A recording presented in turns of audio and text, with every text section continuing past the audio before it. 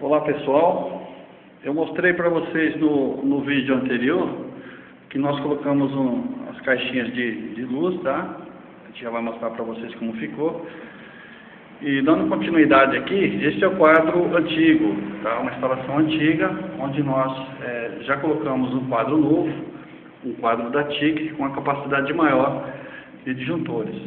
Então, como vocês percebem aqui, existe uma proteção, mas a carga que tem na casa hoje, a quantidade de disjuntores aqui é pequena. A gente vai mostrar para vocês aqui o trabalho que a gente já está fazendo.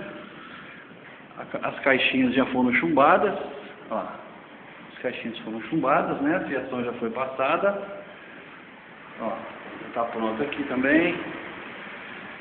Esse outro lado, a gente passou a rede aqui, ó, por cima do madeiramento, aqui vai receber um forro, né? Forro de madeira. Então a gente já está deixando o trabalho adiantado. Aqui, ó, ponto de interrupção, tudo individual.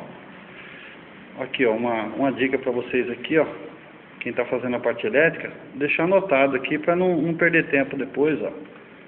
É uma referência muito boa isso aqui, tá? O, a rede que vai alimentar a sala já foi passada também. Olha lá, mais uma caixinha. E aqui está o quadro, o novo quadro que a casa recebeu. Ah, só para mostrar para vocês. Já chumbamos ontem, né? Hoje a gente vai estar tá finalizando aqui, dando um acabamento melhor, tirando o excesso do conduíte. E a gente vai montar aqui a rede e estar tá mostrando para vocês no próximo vídeo.